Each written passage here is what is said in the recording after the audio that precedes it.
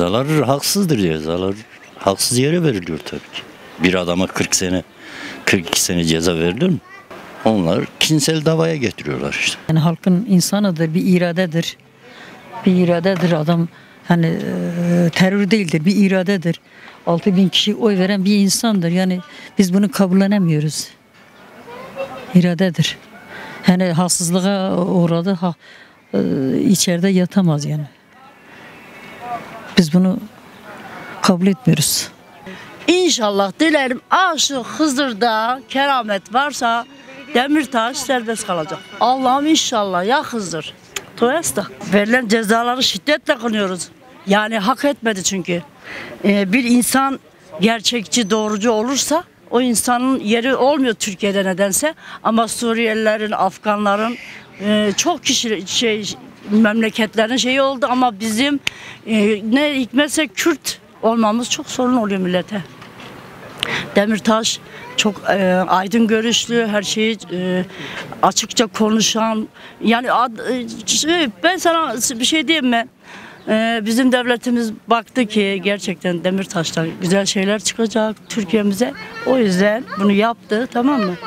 E, güzel insanımızı yok etmeye çalıştı ama inşallah Rabbim ona fırs- fırsat vermeyecek. İnşallah da bizim Demirtaş'ımız bize geri dönecek. Bu siyasi bir soykırımdır. Ee, hiçbir karşılığı yoktur bu toplumda. Ee, dünden belli insanların tepkilerini görüyorlar. Eğer birazcık vicdanları ve onurları varsa bir an önce bu hukuksuzluktan vazgeçerler. Ee, bu verdikleri kararı zaten başta Selahattin Demirtaş olmak üzere Kürt siyasetçilerin hepsi e, yargıladılar, mahkemeyi yargıladılar ve onurlarıyla, e, dik duruşlarıyla halkının yanında olduğunu belli ettiler.